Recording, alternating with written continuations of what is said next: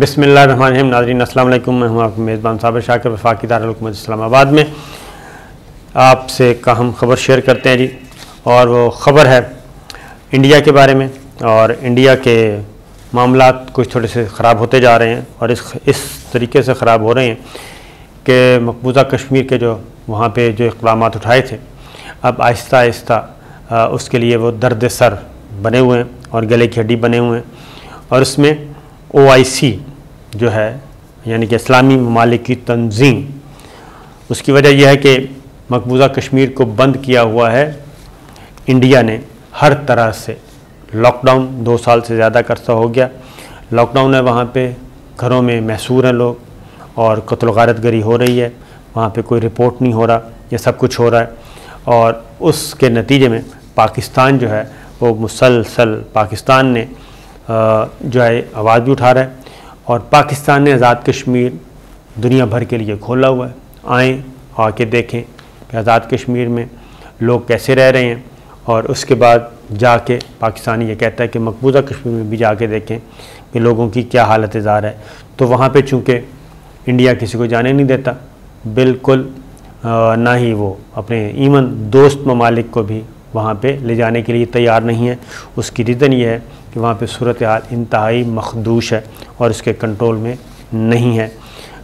ہوا یہ ہے کہ پاکستان نے کیا کیا؟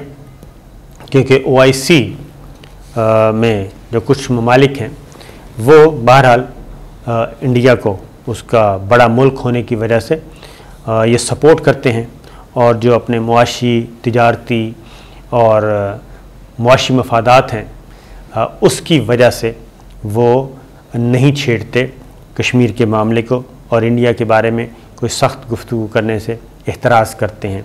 اور اس کی وجہ یہ ہے کہ وہ ظاہر ہے جی سوا ڈیڑھ ارب کا ملک ہے اور اس لیے اس منڈی کو وہ اگنور نہیں کر سکتے۔ بلکہ کچھ ممالک تو ایسے ہیں جنہوں نے وہاں پہ بڑے بڑے انویسٹمنٹ کے پلان کیے ہوئے ہیں۔ اور اس کی وجہ سے بھی وہ چاہتے ہیں کہ پاک انڈیا کے ساتھ معاملات اس کے خراب نہ ہوں اور مقبوضہ کشمیر کی طرف وہ جاتے نہیں ہیں۔ لیکن پاکستان نے ایک کامیابی حاصل کی اور وہ کامیابی یہ حاصل کی کہ اسلامی ممالک کی تنظیم جو ہے، ان کے نمائندہ، سفارتکار جو ہیں، ان کو مظفر آباد لے کے گئے، او آئی سی کے ارکان کو اور ان کے عہدیداروں کو اور مختلف ممالک کی اس میں نمائندگی تھی۔ یہ دو روزہ دورہ تھا اسلام آباد سے مظفر آباد، جہاں پہ انہوں نے کشمیر، کشمیریوں سے ملاقات کرنی تھی، حریت کانفرنس کے لوگوں سے ملاقات کرنی تھی، اور وزیر اعظم آزاد کشمیر اور صدر آزاد کشمیر سے ملاقات کرنی تھی۔ لائن آف کنٹرول پہ جو مہاجرین کے کیمپس ہیں، وہ دکھائے گئے۔ تو یہ سب کچھ دکھایا گیا اور اس میں وفد کی جو کشمیری مہاجرین اور اقوام متحدہ کے مبصر مشن سے بھی ملاقات اس میں کروائی گئی اور اس میں سعودی عرب تھا، متحدہ عرب امارات، ترکی، تیونس، مراکش، آذربائیجان، ملائیشیا گیبن نائجیریا اور یوگنڈا اور دیگر ممالک تھے، جبکہ آذربائیجان کے ڈائریکٹر صفی خانلی وہ بھی گئے خاص طور پہ اور انہوں نے بھی کشمیریوں سے اظہار کی یکجہتی کیا۔ تو یہ ایک نہ صرف اظہار یکجہتی کیا، بلکہ انہوں نے ایک سٹیٹمنٹ بھی ایشو کی جو کہ انڈیا کے لیے تھی اور پانچ اگست کے اقدام کو کہا گیا کہ اس کی کوئی حیثیت نہیں ہے۔ یہ اقوام متحدہ کی قراردادوں کے برعکس ہے، منافی ہے۔ پانچ اگست کے اقدام کو واپس لینے کا مطالبہ کر دیا او آئی سی نے۔ اور یہ کام ہوا اور اس کے بعد او آئی سی نے یہ بھی کہا کہ جو محصور کشمیری ہیں، ان کے لیے انسانی راہداری قائم کی جائے۔ اور اس میں مقبوضہ جموں کشمیر کے لوگوں کی مدد کے لیے انسانی راہداری قائم کی جائے۔ اور یہ اپیل او آئی سی آزاد انسانی حقوق commission P I P H R C کے بارہ رکنی وفد سے ایوان صدر میں گفتگو کرتے ہوئے کہا گیا، آزاد کشمیر کے ایوان صدر میں۔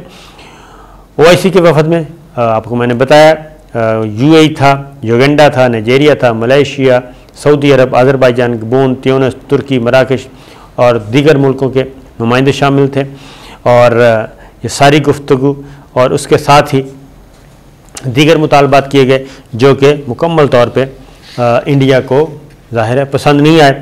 اور پھر مقبوضہ کشمیر کی جو وہاں پہ انسانی حقوق کی خلاف ورزیاں ہو رہی ہیں، اس کی مذمت کی گئی۔ ہیومن رائٹس واچ کمیشن کو بھی کہا گیا کہ وہ بھی اس سلسلے میں اپنا کردار ادا کریں۔ اور پھر جو پروپیگنڈا کیا گیا، جا رہا ہے، اس کو بے نقاب کرنے کی کوشش کی گئی۔ تو یہ ساری چیزیں انڈیا کے لیے ایک مصیبت سے کم نہیں تھیں۔ اور خاص طور پہ سعودی عرب اور یو اے ای کا جانا اس وفد میں اور یہ سارا اسٹیٹمنٹ ایشو کرنا تو اس کے کافی تکلیف ہوئی اور اس میں پھر دلی تک یہ تکلیف پہنچی اور بھارتی وزارت خارجہ نے بھارت کے زیر انتظام کشمیر کو کے حوالے سے انہوں نے کہا جی کہ یعنی کہ مقبوضہ کشمیر کے بارے میں او آئی سی کو سخت تنقید کی اور انہوں نے کہا کہ یہ بھارت کے داخلی امور میں مداخلت کیا او آئی سی نے اور دوسری بات یہ کہ کشمیر جو ہے، مقبوضہ کشمیر، بھارت کا اٹوٹ انگ ہے اور اس میں او آئی سی یا کسی کو بھی مداخلت کا کوئی اختیار نہیں۔ لیکن او آئی سی جو کر سکتی تھی یعنی کہ ایک ریکارڈ پہ ڈاکومنٹ آ گیا اور انہوں نے پانچ اگست کا اقدام مسترد کر دیا، اس کی مذمت کر دی۔ اب یہ جو اصل تکلیف ہے، کیونکہ یہ تکلیف دلی کیوں اتنا پریشان ہے؟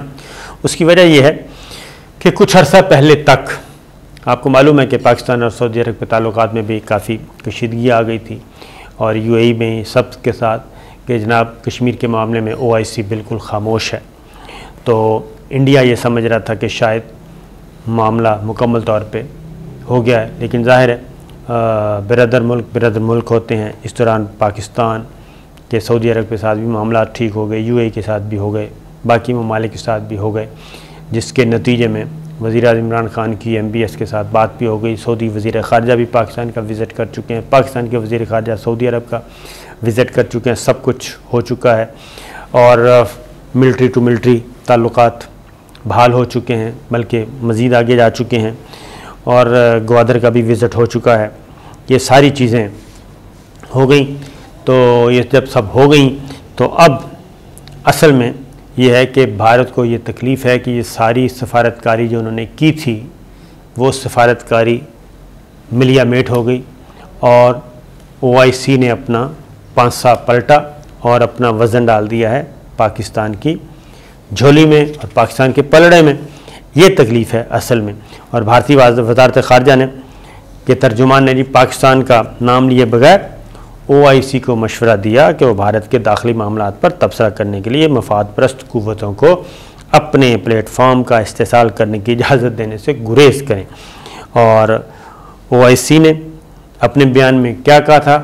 وہ یہ کہا تھا کہ جموں کشمیر کے حوالے سے پانچ اگست دو ہزار انیس کو کیے گئے فیصلے کو منسوخ کرنے کا کہا تھا اور اس تنازع کو اقوام متحدہ کی قراردادوں کے مطابق حل کرنے کی ضرورت پر زور دیا تھا۔ اور بھارت کے اس فیصلے کو یک طرفہ قرار دے دیا او آئی سی نے۔ تو یہ ایک بہت بڑی کامیابی پاکستان کو حاصل ہوئی۔ پوری لمبی سٹیٹمنٹ ہے او آئی سی کی۔ اور او آئی سی پھر دلی، باقاعدہ طور پہ ان کا ترجمان جو ہے بھارتی وزارت خارجہ کا، بھارتی وزارت خارجہ ہی سمجھیں۔ وہ باقاعدہ طور پہ او آئی سی کو کہہ رہی ہے کہ پاکستان کے ہاتھوں میں نہ کھیلیں اور بھارت کے خلاف کوئی اقدام نہ کریں۔ اور یہ آپ کو پاکستان بیوقوف بنا رہا ہے، اس طرح کی باتیں کر رہے ہیں۔ جبکہ او آئی سی کے سیکٹری جنرل سعودی عرب کے دارالحکومت ریاض میں بھارتی سفیر اور صاف صحیح سے ملاقات کر کے بھارت میں مسلمانوں کی صورتحال کے ساتھ ساتھ کشمیر کی صورتحال پر بھی تشویش کا اظہار کر دیا ہے۔ اور بھارت کے زیر زیر انتظام کشمیر میں اپنا ایک وفد بھیجنے کی اجازت دینے کی درخواست کی تھی۔ تو یہ ہے صورتحال جس وجہ سے انڈیا جو ہے وہ کافی پریشان نہیں بلکہ آگ بگولا ہو چکا ہے اور وہ یہ کہتا ہے کہ یہ تو ہمارا دو طرفہ معاملہ ہے بلکہ دو طرفہ بھی نہیں، اب تو یک طرفہ ہی ہو گیا ہے۔ انڈیا کا ہی ہے، تو اس میں آپ کسی قسم کی مداخلت مت کریں۔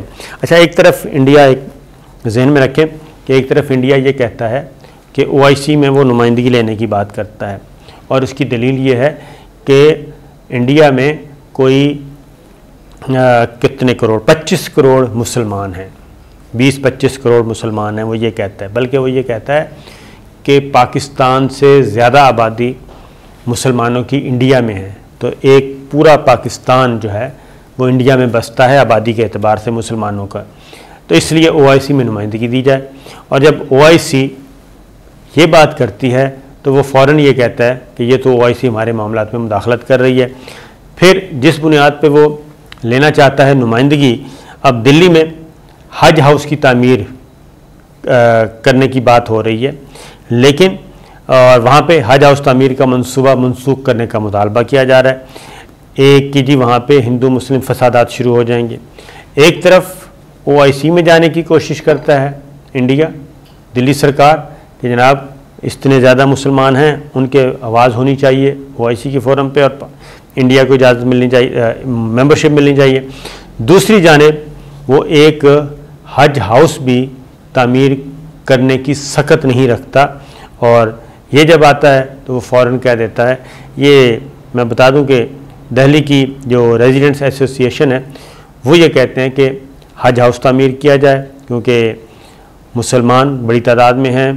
حج پہ جانا ہوتا ہے اور بھارتی دارالحکومت کے جنوب مغربی علاقے کی ریزیڈنشل تنظیموں نے اپنے علاقوں میں علاقے میں حج ہاؤس کی تعمیر مجوزہ تعمیر کی مخالفت کر دی ہے اور لیفٹنٹ گورنر انیل بیجل کو ایک مکتوب لکھا ہے کہ جناب یہ کام نہ کیا جائے اور اس طرح سے ہندو مسلم فسادات ہوں گے تو تین سو ساٹھ خواب پنچایتیں حج ہاؤس کی تعمیر کی مخالفت کر رہی ہیں یعنی کہ وہاں پہ ایک پورا ایشو بنا ہوا ہے۔ کہ جناب یہ کام نہیں ہونا چاہیے۔ اور جبکہ یہ مسلمانوں کی ضرورت ہے وہاں پہ، اور یہ سارا معاملہ ہے۔ تو کہنے کا مطلب یہ ہے کہ کبھی وہ اسی مسلمانوں کی آبادی کی بنیاد پہ، جو مسلمان وہاں پہ موجود ہیں، اسی کی آبادی کی بنیاد پہ انہی مسلمانوں کو سامنے رکھتے ہوئے وہ مختلف فورمز پہ ممبرشپ مانگتا ہے۔ جبکہ دوسری جانب جب ان مسلمانوں کے حقوق کی بات ہوتی ہے، مذہبی حقوق کے تحفظ کی اور معاشی حقوق کے تحفظ کی، معاشرتی حقوق کے تحفظ کی، تو وہ یہ کام کرنے سے انکار کر دیتا ہے اور کہتا ہے کہ ہندو مسلم فسادات شروع ہو جائیں گے اور ہندوؤں کو تکلیف ہوگی۔ تو یہ ہیں دوغلا پن۔ بہرحال وہ کہتے ہیں کہ جی کہ جو خون ہے، جو اللہ کی راہ میں قربان ہو اور اپنے وطن کی اور دھرتی کے لیے قربان ہو اور عصمتیں جو لٹائی جائیں وہ رائے گاہ نہیں جاتی۔ تو انشاءاللہ مقبوضہ کشمیر کے لوگوں کی بھی جی قربانیاں رائے نہیں جائیں گی اور کبھی نہ کبھی تو غیرت جاگے گی۔ مسلم حکمرانوں کی اجازت دیجیے۔ اللہ حافظ۔